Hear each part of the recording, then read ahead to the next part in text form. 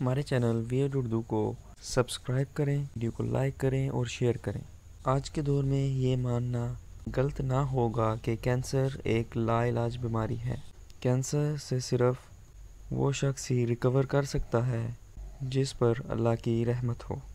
लेकिन सुनने में ये भी आया है कि मुस्तकबिल में इस बीमारी का नामो निशान भी ख़त्म हो जाएगा। और अब मैंने ये पढ़ा है कि स्टैनफोर्ड यूनिवर्सिटी, जो कि अमेरिका में है, वहाँ के साइंसदानों ने कैंसर के ख़िलाफ़ लड़ने वाली वैक्सीन तैयार कर ली है, जो कि एक चूहे में हर किस्म के ट्यूमर को ख़त्म करने की काबिलियत रखती है, और ये वैक्सीन जल्द ही इंसानी मैार तक भी बढ़ा दी जाएगी, और इंसान भी इस वैक्सीन से फ़ायदा उठा सकेंगे।